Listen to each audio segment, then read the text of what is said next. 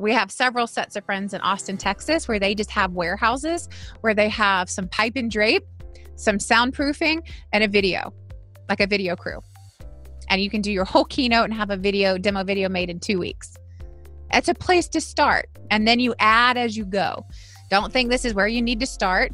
Uh, but these are all the components of your expert bio visually depicted into your demo video. That's the point that I'm trying to get across. So let's talk about what are some of the assets that you need in order to really make this uh, hit home for you and a demo video.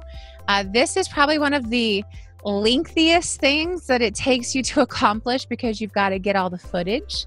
Um, I will also say that as we go through this, uh, we have been making renditions of our demo video for uh, virtual. And this is the easiest thing that you can do.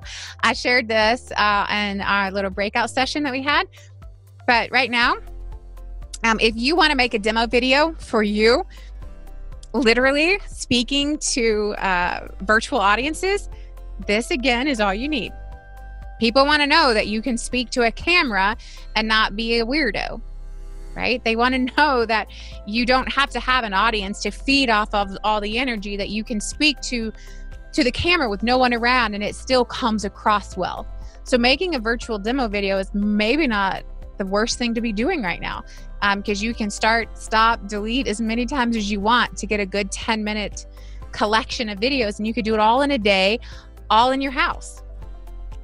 It's not a bad thing to be working on. And what do we need to have in terms of assets in the meantime? That doesn't also mean that we're not trying to get booked for fall of 2021.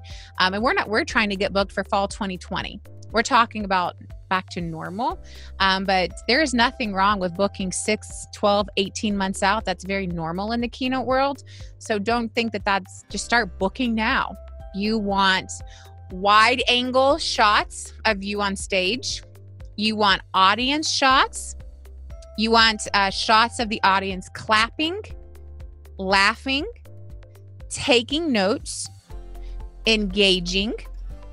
You want shots of you before, during, and after your presentation. So if you have a book, doing a book signing, shaking hands with the audience, interacting with the audience, talking to the meeting planner, getting ready for your speech, um, have uh, B roll footage of the room as it's getting set up. Um, those are all types of B roll footage that you would want to have.